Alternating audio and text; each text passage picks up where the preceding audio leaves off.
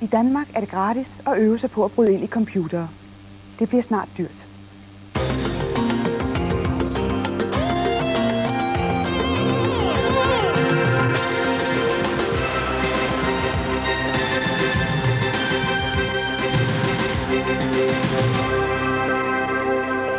Rasmus Bertelsen, også kaldet Sprokket.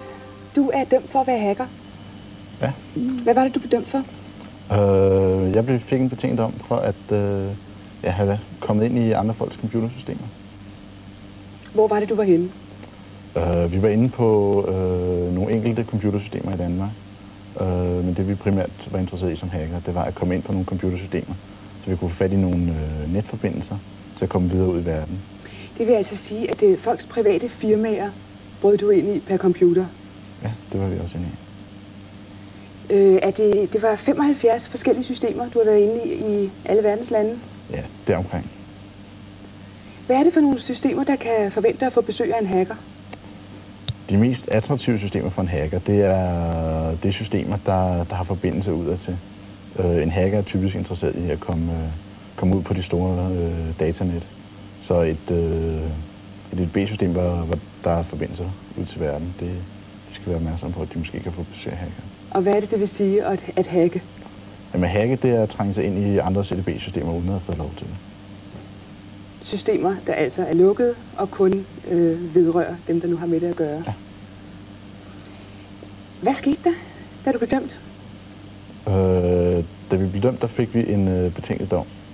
Øh, uden, fast, øh, uden strafansættelse, men øh, en prøvetid på to år. Og den er så udløbet i dag, men øh, holder os stadigvæk fra, fra her. Ikke? Hacker du så i dag? Nej, det kan jeg.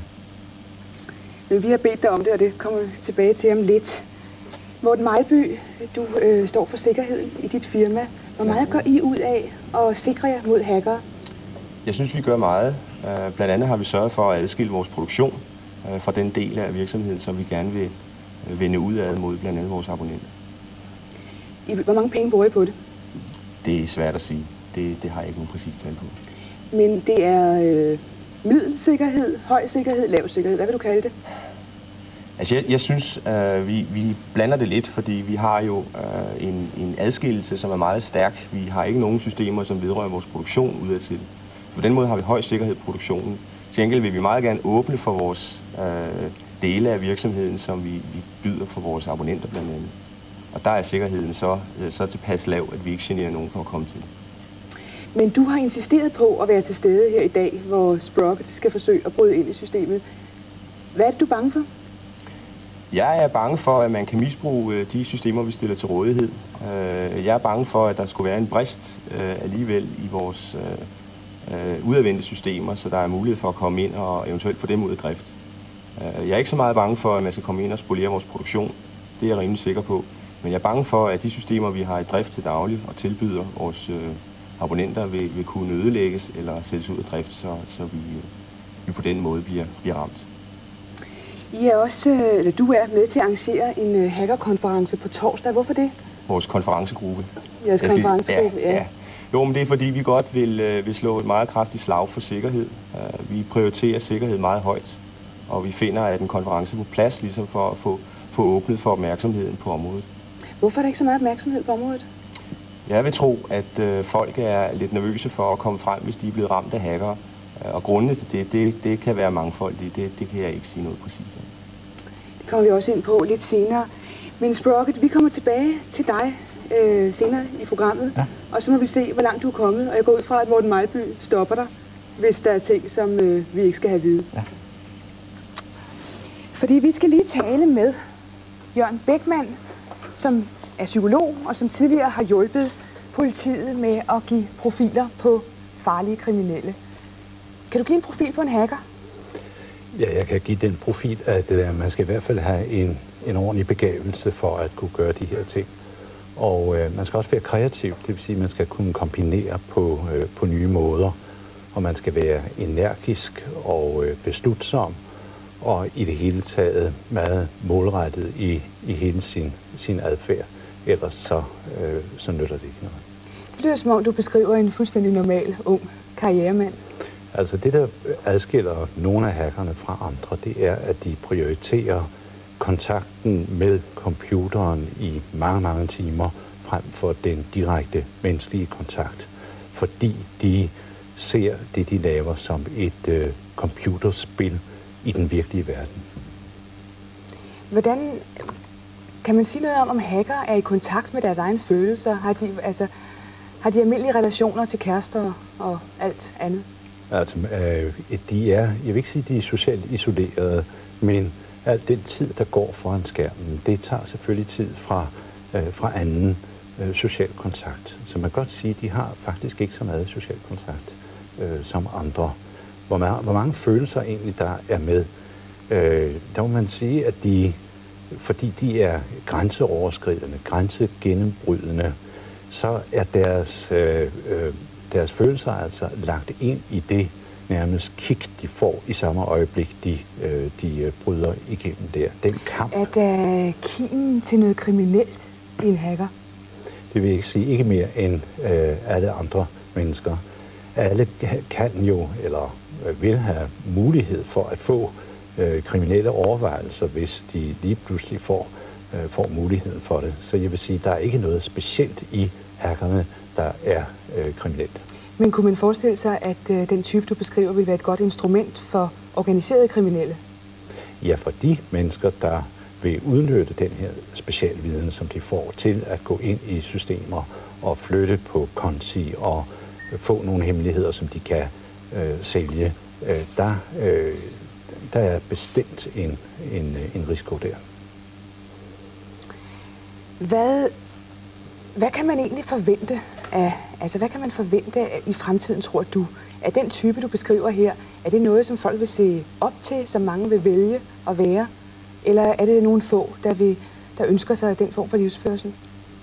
Jeg tror, med, den, øh, med det stormskridt, som øh, EDB har, og PC'er og så videre, det vil se, der vil vi se flere af den her type. Fordi for mange øh, unge mennesker, der har det måske svært med kærester, med kammerater, der er det en, en helt ny verden, der giver dem mening at sidde foran den her computer. Så jeg tror, vi vil se flere. Tak skal du have. Inden for dataverdenen er der stort set enighed om, at domstolene burde dømme langt hårdere i hackersagerne. 300-400 mennesker i Danmark deler en helt speciel hobby. Hacking eller ulovlig indtrængen i andres databaser. Fænomenet, der oftest har været forbundet med leg, farlig leg, mener nogen, drengestreger, siger andre, kan vise sig at blive den største trussel i fremtidens teknologiske samfund, hvor information er det dyrebareste, der findes. Hidtil er kun en lille håndfuld dømt for elektronisk indbrud, og den hårdeste dom faldt til Mr. Bandit alias Christian Hassager. Han blev idømt 150 timers samfundstjeneste for bedrageri for millioner. Kan det ikke lade sig gøre for telefonselskaberne at stoppe det? Nej. De underordnede domstole har følt en vis undskyldende, øh, noget undskyldende ved det hacker at gøre, fordi det er pæne unge mennesker, de passer deres studie, de sidder om aftenen og studerer videre, så at sige, med deres computer, og, og de gør det jo kun, fordi det er sjovt, og ikke for, at det går på nogen. Og så får de en betinget dom, og det synes jeg nok er forkert. Det er et forkert signal at sende. Professor Mads Bryder Andersen lægger ikke skjult på, at han ønsker hårdere straffe til hackerne, der bortset fra Mr. Bandit er sluppet med betingede domme. Måske fordi de på overfladen er ganske almindelige, pæne og ofte ret intelligente unge studerende. Det var jo ikke forbrydertyper, det var en helt anden slags øh, unge mennesker at have siddende i, i retssalen, end dem jeg normalt har. Og øh, jeg synes, der er netop derfor grund til at advare andre unge mennesker, eller for den sags skyld alle mennesker, øh, om at øh, det er nok mere alvorligt, end, end mange går og tror. Jeg går ind for i hvert fald en skærpelse af den praksis, som byretterne har lagt for hackere. Det, det må jeg klart sige. Der er et eksempel, som er helt grotesk, som ikke handler om egentlig hacking, men om tyveri af telefontid, hvor, hvor en person igennem flere år taler dagligt gratis godsøjen øh, i telefonen over Atlanterhavet. Og det taxeres til en betinget dom med samfundstjeneste værdier for en 20 millioner kroner. Det synes jeg er fuldstændig ude af, af proportion med, hvad man i øvrigt øh, straffer andre former for kriminalitet. Det at stjæle information opdages ikke nødvendigvis af den bestjålende. Hvis du stjæler en bil, så opdager bilisten omgående, at hans bil er væk. Men øh, når, når information er stjålet, så er det ikke sikkert, at, at øh, ejeren ved det. Og det, at, at nogen ikke nødvendigvis føler en smerte ved det tab af information, der er sket, det kan altså øh, for den, der udfører handlingen, føles måske som en, en undskyldende og forsonende omstændighed. For mig at se det langt værre. Hvis en hacker har været inde i et system, så skal den, der ejer systemet, rydde op i det.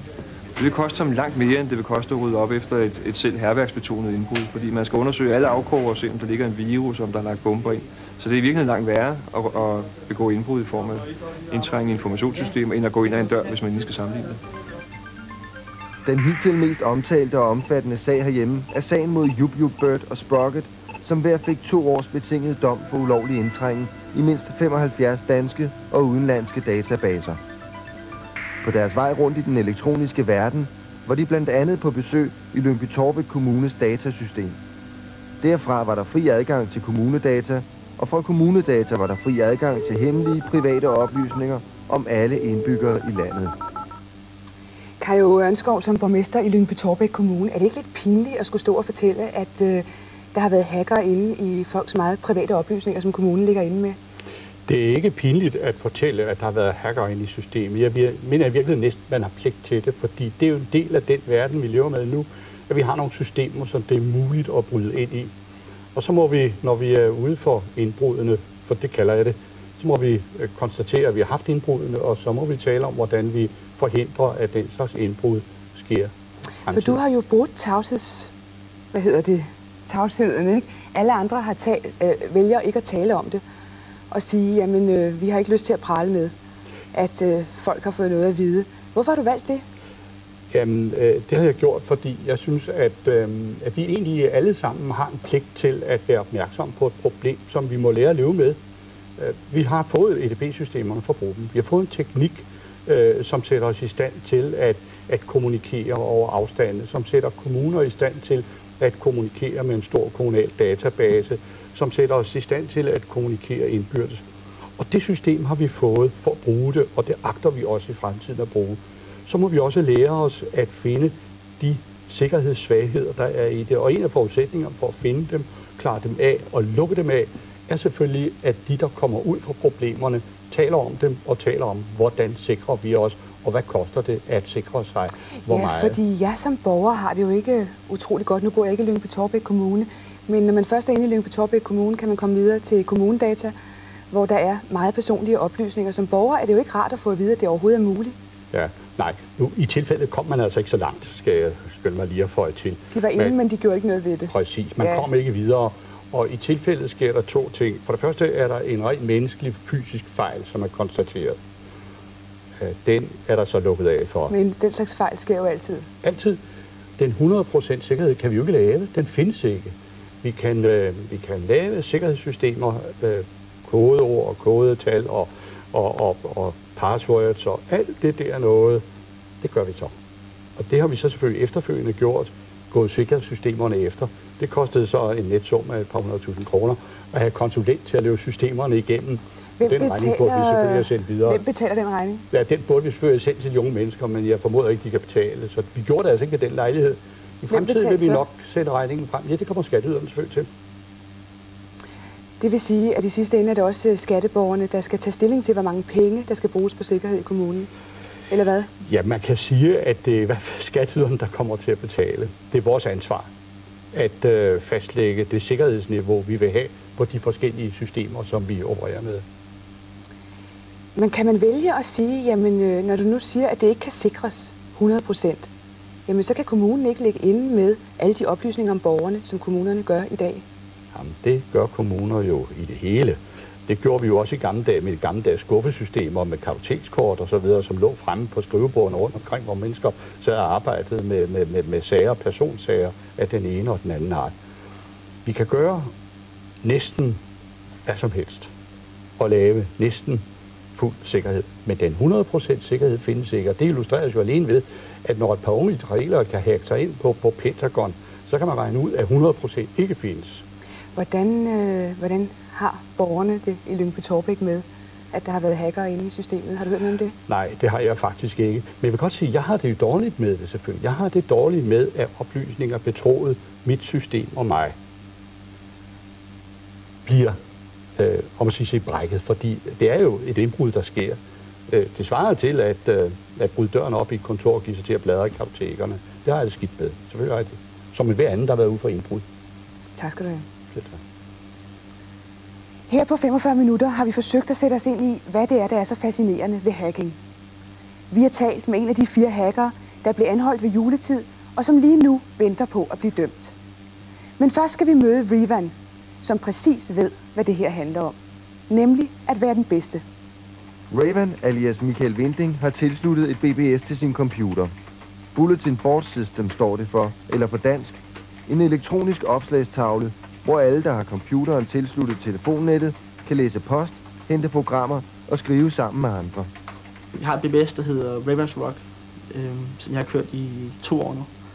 Der er cirka 500 brugere, hvor jeg har 4.000 filer liggende, som man kan hente.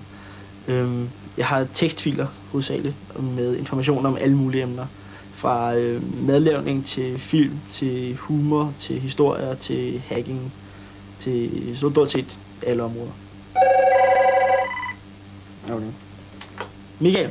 Sorry, det er Anja. Hej Anja, er det meget vigtigt? Ja, men øh, Det skal være meget vigtigt. Der findes øh, simpelthen tekstfiler om alt. Der findes om øh, bomber, og der findes om, hvordan man fremstiller LSD. Der findes om alt. På, på dit BBS. Jeg har så valgt at, at sige, at jeg vil godt have, at jeg har et vist ansvar over for, hvad folk kan få fat i her. Og så har jeg så valgt at fjerne alt, der tager sig af, af stoffer og den slags. Og jeg fjerner alt, med, øh, alt der har med bomber at gøre. Den slags. Det var direkte efter en, øh, efter en øh, artikel et blad, hvor vi, øh, vi sætter os ned og overvejede, om det var ansvarligt at have den slags liggende. Så blev vi så enige med os selv om, at, at det var det ikke. Jeg vil ikke sidde med ansvaret en eller anden dag for, at en øh, 14-årig har sprængt fingrene af sig selv eller en anden. Den 8. december øh, blev jeg anholdt af Roskilde Kriminalpoliti.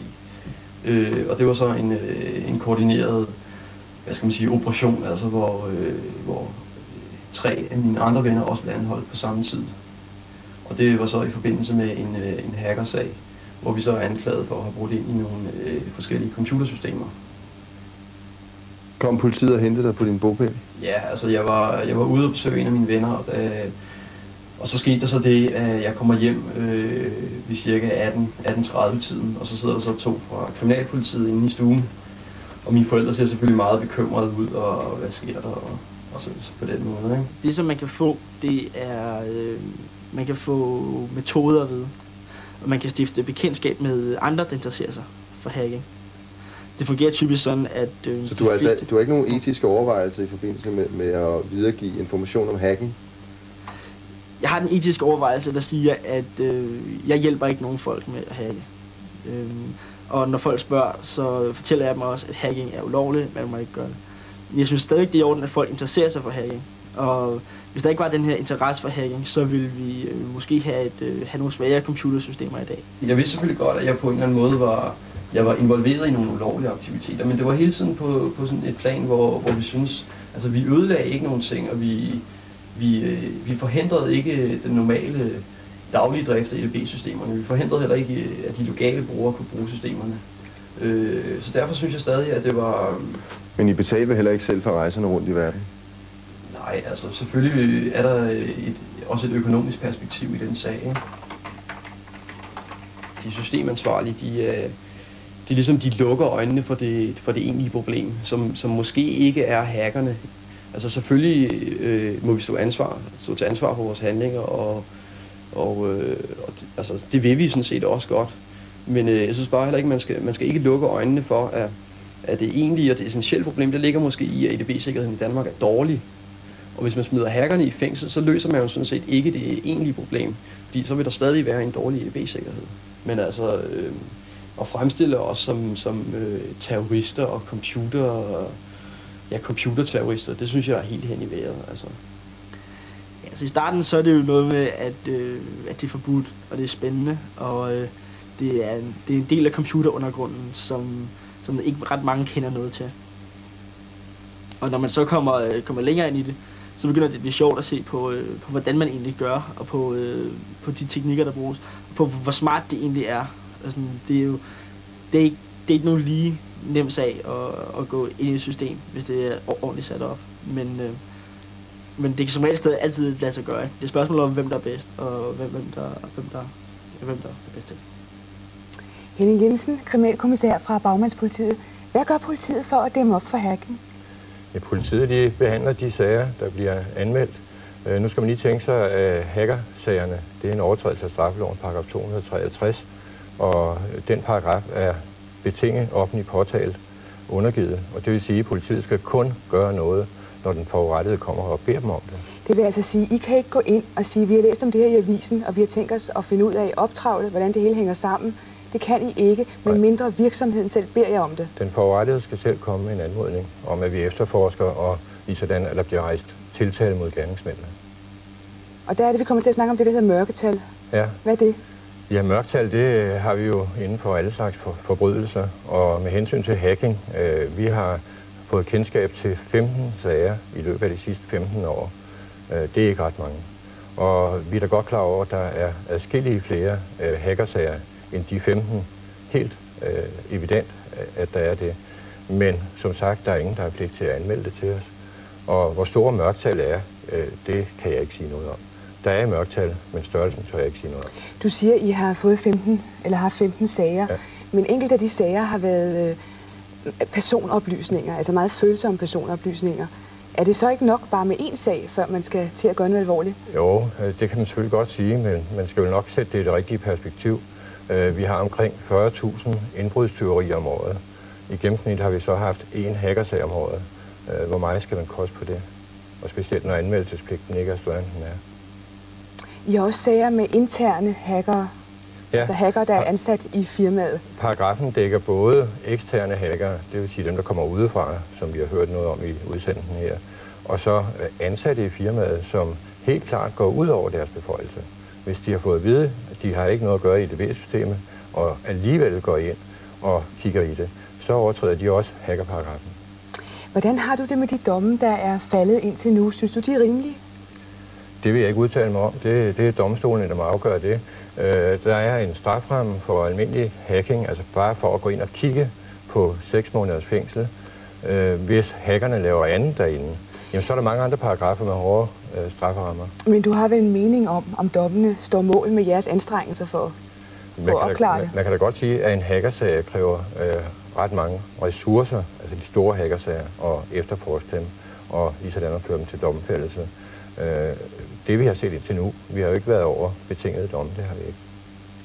Får I den hjælp, I skal have, når I skal opklare de her sager? Ja, det synes jeg da. Øh, I det omfang, politiet har brug for det, så må vi høre os til eksperthjælp. Det må vi i mange andre sager også. Øh, er det sager med arbejdsulykker, jamen så er det arbejdstilsynet eller ingeniører, vi skal høre. Er det sager vedrørende hospitalsvæsenet, så har vi gerne kredslægen med som bistand øh, i økonomiske Så du mener sager, ikke, at politiet har nogen problemer i forhold til hacking? Nej, ikke som vi har set det endnu. Da. Tak skal du have. Tak. I USA tager man det her anderledes alvorligt. FBI har nedsat en central agentenhed til at infiltrere og opklare hackerkriminalitet. Beslaglagt udstyr fra computerhackere hører til dagens orden i USA, med 250 sager årligt mod blot 40 for tre år siden. FBI's computerenhed har i to år fra dette hovedkvarter ved Washington jagtet en kriminalitet, der skifter karakter fra sjov til profit. It is really progressing and changing constantly. And what we're seeing in the last year, we have seen more and more criminal activity being done. And by criminal activity, I mean the activity and not just going in, not just to see what they can get into, how far they can go, to actually damage systems, steal things, and even commit your standard crimes like we've seen extortion, We've seen people selling information you can't get from other sources to like private investigators or people like that for money. The profit motive is there now.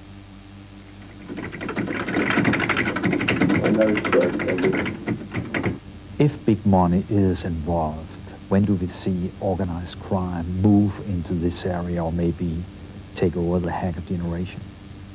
That has been a big concern of the FBI. When is the uh, regular criminal element going to seize upon the opportunities when they realize what can be done with it. That is our concern. I mean, this is a very legitimate concern, is the criminal element can use these systems to either extort money or defraud people of money.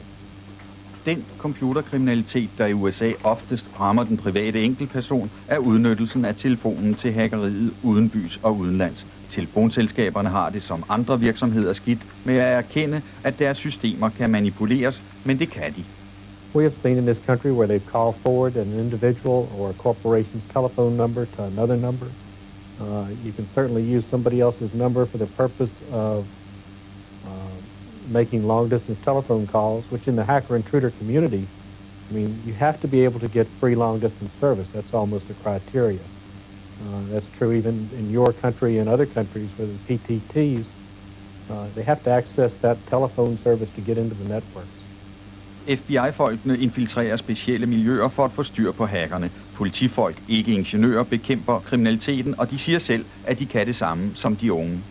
They're all special agents of the FBI first, number one.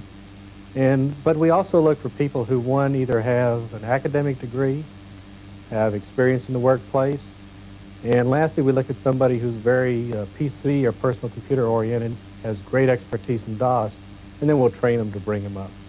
But we are looking for both the kind of the geek and also for the agent. We need both of those. Henning Jensen, hvor meget EDB-uddannelse har du? Jeg øh, startede øh, med at kigge på EDB i slutningen af 70'erne. Så øh, kom jeg på politiets første EDB-kursus. Det var i Handelsskolens regi i starten af 80'erne. Og siden har jeg læst til merkonom i databehandling, men ellers er jeg selv lært. Synes du, at dine, du og dine kolleger har uddannelse nok i forhold til, at I skal opklare store forbrydelser? Jeg har det ikke til øh, alene at opklare store EDB-forbrydelser, og det er der, mange politifolk, der øh, heller ikke har. Det er vel heller ikke politiets opgave, øh, og specielt ikke, når vi ikke har flere sager end det her. Politiets opgave er at efterforske og skrive rapporter og gøre sagen klar til retten. Øh, I det omfang, vi har brug for eksperter, jamen så må vi trække på dem udefra. Jeg mener ikke, der er grundlag for, øh, og, og, at, at vi skal øh, umiddelbart sætte store ressourcer ind på at få uddannet flere politifolk på det her grundlag. Jan Carlsen, du er direktør for Instituttet for Datasikkerhed. Du har kaldt Danmark et paradis for hackere. Hvad mener du med det? Jamen, jeg mener, at øh, der er så mange myter om hackere, der er så mange øh, pressen, medierne, de øh, idealiserer de her hackere, som om det var verdens 8. vidunder, og hvad ved jeg. Og det mener jeg bestemt ikke, det er. Men øh, i og med, at man lokker nye ind i, i hackerområdet, øh, og øh, de ikke får nogen særlige straffe, og øh, det er uhyggeligt svært at efterforske som følge af dårlig lovgivning. Øh, politiet måske ikke er så stærkt, som det burde være på det her område. Så mener jeg stort set, at de har alle de arbejdsmuligheder, de bliver at have. Hvad er det, du mener, politiet skal gøre, hvis det var dig, der bestemte? Jamen, jeg mener, det vil jeg så også gerne. Men jeg, jeg mener, politiet skal begynde nu og så sige, at vi er nødt til at lave et specielt kurs på det her område, for det er da rigtigt. Indtil videre har der ikke været så mange anmeldte sager. Men, men alle ved, at der er mange sager udenom, og det er helt klart, at politiet har haft nogle dygtige uddannede specialister, som hurtigt kan rulle sagerne op. Så tror jeg på, at der kommer mange flere anmeldelser for det første. Og for det andet, så mener jeg, at politiet risikerer at blive taget med bukserne om fem år, for vi kan se på væksttallene, virus, ulovlige programkopieringer. Vi kan se det hele, der vokser inden for det her område, i det område. Og der mener jeg, at politiet skal have langt mere fart på, end de har i dag. Hvad mener du om de domme, der er faldet? Jamen, jeg mener, de er direkte latterlige. Jeg har stor forståelse for, for skolebørn, som prøver at lave et eller andet lille øh, uheldigt øh, ting og sager. Men når vi snakker om de mere professionelle hackerne og siger, de domme, der er der, så mener jeg, at de, de siger ingenting. Jeg kan ikke forstå, jeg siger ikke, de skal 6 eller 8 år i fængsel, for det er latterligt til sig selv. Men jeg kan ikke forstå, om man ikke kan give dem ordentlige bøder, konfiskere deres stereoanlæg, deres knallert og så videre, og så rejse erstatningssag mod dem, så det så de får fundet på halsen i næste fem år. Og så eventuelt lukke dem ud for EDV-verden. Det tror jeg vil have den præventive effekt, som gør, at de ikke begynder at pille på meget af det her. Men der vil altid være nogle få, som arbejder med det. Det kan vi ikke komme udenom.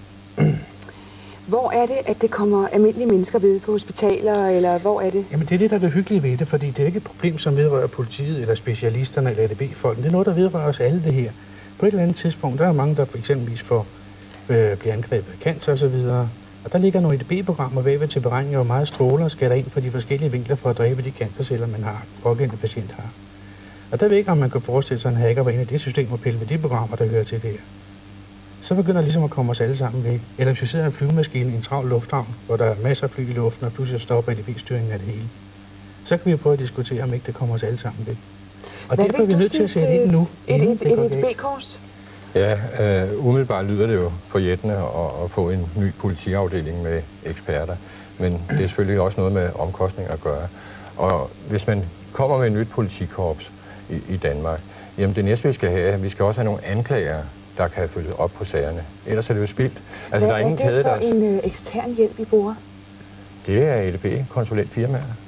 Kan det være, det er Så det ved jo an på, at de har en uddannelse. De har jo slet ikke den samme baggrund, de samme ressourcer, de samme tilgang til de informationer, som I har. og pludselig så kan de ikke nok i forhold til det, de skal bruge. Jeg tror på, at det er alt for sent, de kommer i gang. De Jeg skal tror- i gang nu. jeg tror ikke, hvis- skal også have nye anklager. Der skal der også dommer til, som er specielt. Vi har en søger handelsret. Hvorfor kunne vi ikke have nogle dommer, som er specialister i DB-sager? Det vil vi meget gerne have. Ja, ja. så lad os få pokker på det. Selv nok Men vi det er et fik, spørgsmål om politikerne, om de er til at rive ud af- stolene. Det kommer vi til. selvom nok vi fik anklagerne uddannet også, så kommer vi frem til de juri- juridiske dommere. De har heller ikke lært om EDB. Og så kommer vi frem til det helt store. Det er domsmandssystemet, hvor vi har, ikke for at forklare nogen, men en husmor måske, og øh, en hvilken som helst anden, øh, som skal sidde som domsmand. Det hjælper jo ikke noget, hvis Det er simpelthen hele systemet, det er hele systemet, så, Tak skal og, og så er det altså Hacking kan være målet, men det kan også være midlet. Nøglen til den fjerde verden. Den, der er inde bag computerskærmen. Her er ingen love og regler. Her er cyberpunk. Der er alle mulige forskellige trommer her, som jeg har lagt ind. Nogle af dem er ulovligt hugget, andre må man godt bruge. Øh. Og så er der vokalen. For eksempel, som jeg har taget og indsunget i sampleren. Lived here for so long, but I am still a bum. Every jar of pills I've eaten with a thrill. Jeg hedder Max M, og jeg er cyberpunk.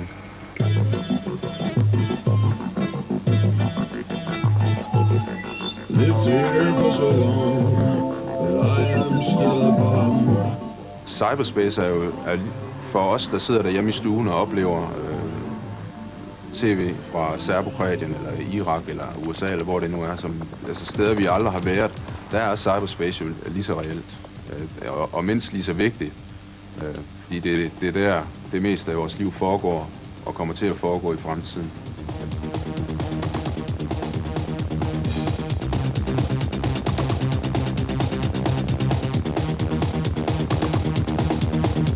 Fleste mennesker, de tænker ikke over, hvor afhængige vi er blevet af teknologien. Øh, men i virkeligheden, så vil de fleste jo nok hellere undvære deres, øh, de der to-tre gange om året, de kommer i skoven eller øh, ud til strandene, end de vil undvære deres fjernsyn og tv og telefoner og øh, radio, videobåndoptager, biler, øh, cykler, hvad man nu har af teknologi, lægevidenskab. Altså, vi er jo fuldstændig afhængige af teknologien i dag.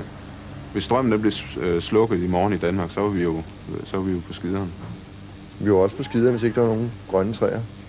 Det er klart nok, det, det, jeg siger heller ikke, at vi skal fælde træerne.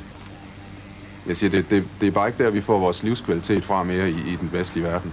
Det er jo fra teknologien, det er ikke fra naturen. Men vi, selvfølgelig har vi brug for naturen. Det er jo, vi trækker vejret, og vi spiser stadigvæk bøffer.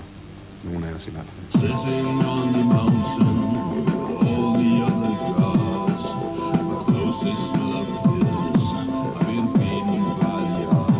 Det jeg ligesom prøver at fortælle, det er, at, at, at vi, er, vi er snart ikke mennesker mere. Øh, altså vi er ved at gå et, et skridt videre op af evolutionsstigen. Vi er ved at få et nyt lag på vores hjerne, som er, er computeren. Øh, altså, hvis vi bliver syge, så får vi et nyt hjerte. Øh, rigsbønder i Bangladesh, de dør. Øh, altså vi kan, vi kan, vores medicin holder os jo i live dobbelt så længe, som, som vi måske ellers ville have, have været. Ikke? Altså, det vil sige, det er alle de mennesker, der lever i dag, de lever på grund af teknologien. Altså, på den måde mener jeg, at vi er ved at, at blive øh, et med maskinerne. Vi er ved at, at smelte sammen med dem på en måde. Altså ikke, ikke rent fysisk med, at, at, at vi som mennesker hver især er ved at smelte sammen med dem. Men at vi som øh, samfund og, og kultur er ved at smelte sammen med maskinerne. Og på den måde er vi ved at blive en slags ny øh, det næste skridt i evolutionen, altså homo, homo cyber i stedet for homo sapiens. Homo cyber i stedet for homo sapiens. Homo cyber i stedet for homo sapiens. Homo cyber i stedet for homo sapiens.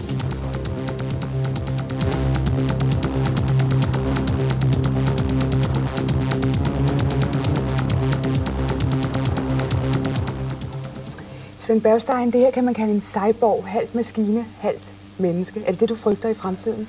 Ah, jeg tror nok, at mennesker de bliver ved med at være mennesker, ikke? men problemet er, når computeren eller det grej, man tager på i form af hjelme og lette dragt og alt muligt andet, pludselig får virkeligheden til at forsvinde væk fra en. Og det ligger jo ikke mere end en 10-15 år ude i fremtiden, og så må man se, at man kan træde ind i den her cyberworld, kald det virtual reality, kald det hvad du vil, og mister grebet i virkeligheden. Når vi to står og taler sammen her, ikke? Og, eller når man sidder til fjernsyn og kan blive helt opslugt af en film, jamen så er der stadigvæk hold i virkeligheden, for hunden kommer og skubber til en, og man hører en, der går på trappen eller noget andet. Men her bliver afskåret fra virkeligheden og oplever sig værende i et andet univers. Og så er min bekymring, det er, hvad sker der med børn og unge, som opholder sig i dette univers, og måske bliver misbrugt, bliver hjernevasket, optræder som øh, aktør i voldsfilm eller sadistfilm, eller hvad ved jeg. Øh, det kan blive misbrugt det her. Der er mange gode ting i det, der kan udnyttes til psykoterapi, til at udvikle nye fabrikker, og spare ressourcer, uddannelse og alt muligt. Godt er der i det. Og så er der en bagside af medaljen, som er ret uhyggelig, hvis jeg må sige. Ulrik Lacour, du er cyberpunk, og du er ikke bange for det her. Faktisk så vil du gerne være et med maskinerne. Ja. Hvordan det? Altså, jeg er vokset op i, eller min generation er jo vokset op med øh, dommedagsprofetier, og vi kan se uh, naturen blive farlig for vores helbred, ikke også? Og så er det så, at vi kan måske engang i fremtiden, eller det kan man så håbe på, gå ind i computeren og blive et med den og leve der, hvis naturen den bliver ubeboelig eller farlig at være i nærheden af. Ikke? Sådan, så man kan ty til den. Og altså, naturen, den, man kan jo ikke stole på den mere. Altså ekstreme vejrforhold øh, og alle mulige andre ting. Så er Hvordan vil giftfoser, du som så der spiller komme op til at opleve det, som Svend Bergstein lige har fortalt om? Komme til at opleve det. Altså, kan du opleve det samme der? Ja, altså der er jo også noget, altså, smukke ting inde i cyberspace, fraktalgrafik. Øh, altså, Det vil sige, at computeren vil kunne give dig mere oplevelse end virkeligheden? Ja, det, på nogle områder vil den i hvert fald kunne. Og kropsspor og sådan noget vil man jo beholde, fordi at det bliver jo, det bliver jo muligt på et eller andet tidspunkt at, over, at overføre det til cyberspace. Sådan, så, sådan som vi egentlig har, vi beholder alle vores øh, kvalifikationer og sådan noget, som vi ellers har. De bliver Er bare du ikke bange for, at du så bliver dårlig til at leve dit liv? Nej, jeg tror, det, det, det vil da kunne give mange mennesker mere indhold i deres liv, end de har i forvejen. Det lyder da godt, Svend Bergstein. Det er da ganske udmærket, men hvad nu hvis det bliver misbrugt til politisk manipulation? Det er et dejligt instrument, hvis man sådan via, i stedet for via fjernsynet kan manipulere seere, så kan de sidde og grine lidt af en. Men hvis man nu kan putte folk ind i denne kunstige virkelighed, og så manipulere dem grundigt og effektivt, dag ud og dag ind, hvor de slipper altså den rigtige virkelighed, og ind i det, som er en kunstig virkelighed, og bliver, bliver, bliver bearbejdet dag ud og dag ind, år ud og år ind. For Det slet ikke at kan man tale jo om børn. Ja, men ikke så effektivt, som man kan gøre. Det er det, der er humle. Det er det, man slipper taget i den rigtige virkelighed, der ligger udenfor. Og det er rigtigt, du siger, at man kan få smukke oplevelser. Naturen kan blive noget skræmmende, det er der enig i. Men den er der altså, og der skal være nogen til at lave de der maskiner, du skal træde ind i. Ja, det er, der, det, den- det er klart, men tror du, ikke, tror du ikke folk, de vil, øh, de vil lade være med at sige så mange nyhedsudsendelser og sådan noget, fordi at, øh, altså, nu ser man jo bare, hvad der er i fjernsyn, ikke? Og jo. omkring klokken 9 og klokken 7, der er der ikke specielt meget andet end nyheder, ikke? Men altså, hvad nu, hvis øh, der, det er statsmagten, der kontrollerer det her? For slet ikke at tale om, at der er store firmaer, som har en kommersiel interesse, skal tjene penge på at sælge nogle virkelig gode sadister voldsprogrammer, som rigtig kan føle sig der som herskere, der kan gå ud og... Der vil jo stadig være etik og moral derinde. Masser, ja. Bergstein, når du nu er så bekymret for Ja. det her, så er det jo heldigt, at du faktisk sidder i en position, hvor du Mhm. kan gøre noget ved det. Du er teknologiminister. Det er hacking, det er kommercialisering. Ja. Hvad vil du gøre ved det? Hvad har du Jamen, gjort? Det har jeg da gjort, fordi jeg har faktisk taget nogle hvidbøger, der er det amerikanske forsvarsministerium, som bliver offentliggjort, der siger noget om perspektiverne, hvad man vil kunne gøre med det her med en halsnæs år. Og det man så sendt til socialminister og kulturminister, så gengelejter dem videre ned i, øh, i regeringens børne- og ungdomsudvalg, hvor jeg håber, jeg får lov at tale med de mennesker. Det er nogle psykologer Er det også øh, det, du har at byde på over for hacking? At du sender nogle rapporter rundt i systemerne? Jamen, jeg er jo ikke jo, hacking er lovovertrædende, ikke? Altså, det, det hørte vi jo lige før, ikke? Og jeg synes, at hacker, man skal lade være med at få skingre toner omkring det. De fleste af dem er bare nogle fjolser, ikke? Som sidder og aber efter alle de andre. Og de skal selvfølgelig have sådan en øh, besked på, at det må man ikke. Men når man begynder at udnævne sig til terrorister, øh, så skal man være lidt forsigtig, for det kan godt være, at nogle af dem er terrorister andre steder i andre sammenhænge, og koster masser af penge, kan få flyvemaskiner til at falde ned. Men i det øjeblik, man skriver dem alle sammen ud til at være terrorister, så sker der sådan en myte, der bygger Men op. Svend ikke? Bergstein, hvad skal de Det små firmaer gøre, mens... De skal, øh, de skal se i øjnene, ligesom man er inden for forsvaret, at det koster penge at overarbejde kommunikationssikkerhed. og der er ikke noget, du som teknologiminister kan gøre i den retning? Der er ikke noget, vi kan vente for dig? Gud dog, der sker nej, ikke for mig, for jeg er jo ikke ingeniør, vel? Men der er der firmaer, der sælger EDB-sikkerhed. Og man bliver nødt til i sine fremtidige EDB-investeringer at kalkulere med 5, 10, 15, 20 procent af anskaffelsesprisen skal gå til sådan kryptograferingssystemer og andre former for sikkerhed. Men noget så banalt, som at håndtere det ordentligt og bruge nogle ordentlige kodeord, kan gøre meget af det. Ikke? Tak skal du have. Ja. For vi skal nemlig over og se, hvordan det går herover i indbrudscentralen, eller hvad vi kalder det. Spørg, hvor langt er du kommet? Øh, jeg har prøvet at kigge på deres forskellige systemer. Nu har jeg fået nogle telefonnumre. Øh, det viser, at de systemer, de kører med, er ikke øh, en hackers øh, favoritmål. Hvad betyder det? Øh, de kører med nogle postsystemer i det her firma. Ja, øh, som virker på den måde, at man kobler op til dem, og så kan man udveksle post med dem. Øh, det er ikke muligt for en hacker at gå, øh, gå ind på computeren og bruge Det vil deres sige, at du computer. kan læse nogle breve, som ikke er bestemt for dine øjne. Det ville jeg kunne, hvis jeg, hvis jeg havde det rigtige, rigtige øh, kodeord til at komme ind på systemerne. Problemet for en hacker med sådan nogle systemer, det er, at øh, de systemer de er meget simple. Øh, og det er også derfor meget simpelt at sikre de systemer. Øh, så et simpelt system som det her, hvor det bare er postudveksling, det er meget svært for en hacker at komme ind. Hvis du var konkurrent til firmaet, ville du så kunne bruge de her oplysninger til noget? Igen, hvis jeg kunne komme ind på systemet, så ville jeg måske kunne bruge det til, til noget. Hvis du havde haft længere tid, tror jeg så, du var kommet ind? 45 minutter er ikke så meget. Øh, nej, det er ikke så lang tid. Øh, det er svært at sige. Det vil jeg nok ikke i det her tilfælde. Men det er også et meget godt eksempel på, på den måde, en hacker arbejder på. En hacker prøver en masse forskellige systemer. Er du glad, Morten Mejlby? Jeg er meget begejstret, det må jeg sige, for det bekræfter vores øh, valg af systemer. Øh, Jeg føler i hvert fald, at vi har gjort noget rigtigt ved at adskille vores produktion fra den del af det system, vi godt vil have ud. Og, og så sikre samtidig med, at man ikke som, som vilkårlig kan få adgang og få glæde af de ting, vi tilbyder andre. Sprocket, nu er det jo noget, vi har bedt dig om at gøre, fordi du gør det faktisk ikke mere. Men hvad er det gode, du har at sige om hacking? Øh, jeg mener, at hacking, øh, selvom det bør straffes, det kan jeg kun give, øh, give ret i. Men du mener, det Men, også øh, er- Jeg mener, det har en positiv effekt, øh, at der findes hackere. Hvordan? Øh, fordi at folk bliver opmærksomme på, at de skal tage sikkerhed alvorligt. Øh, siden øh, vores hackersag kom frem for, for, for tre år siden, så er der kommet en kæmpe opmærksomhed omkring øh, datasikkerhed herhjemme, og datasikkerheden er blevet bedre siden da. Vil du også være taknemmelig, hvis jeg bryder din dør ned derhjemme og ligger en seddel inde på dit køkkenbord, hvor der står, jeg har været her, men jeg har ikke stjålet noget? Fordi så har jeg bevist, at din dør øh, ikke var god nok. Jeg mener ikke, at du kan, du kan drage den sammenligning. Men hvis jeg for eksempel var bankdirektør, og du, øh, jeg havde glemt at låse min bankboks, og du så kom og åbnede min bankboks og lagde en seddel derinde, om at øh, jeg havde glemt at lukke min, min, øh, min bankboksdør. Jamen, så ville jeg blive chokeret, ikke? men jeg ville alligevel være, være lettet over, at du ikke har stjålet noget. Så jeg mener, at, at øh, man, skal, man skal tage det seriøst, hvis, man, hvis der er nogen, der, der er kommet og hacket en. Skal jeg som borger også øh, være glad for, at du nu har bevist, at øh, forskellige registre, ikke lige nu, men tidligere i din karriere, at forskellige registre kan jeg ikke fortælle om mine personlige oplysninger, kommunedata osv. Vi har jo en del registre herhjemme. Skal jeg, skal jeg se det som et godt tegn? Det ved jeg skal. Jeg synes, man skal tage det alvorligt. Ikke? Øh, når man hører, at der er nogen, der, der er kommet ind i de her register, så bør man da være farvet over, at det kan lade sig gøre. Hvorfor er det, du ikke hacker mere? Øh, jeg hacker ikke mere, øh, for det første fordi jeg har en betinget dom, ja. øh, men også fordi, at øh, jeg har haft tid til at tænke over, om, om hacking, det, om, om det er i orden at hacke. Jeg mener i dag ikke, at, at øh, det kan forsvare sig at hacke. Tak skal du have. –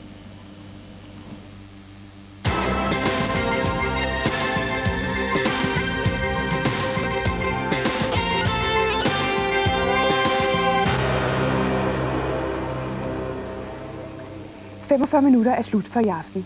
Vi er tilbage næste tirsdag, hvor vi vender blikket indad. I dag har vi tre danske landsdækkende tv-stationer mod tidligere en. Konkurrencen er knivskarp. Konkurrerer vi i virkeligheden hen over hovedet på seerne? Det er 45 minutter næste tirsdag.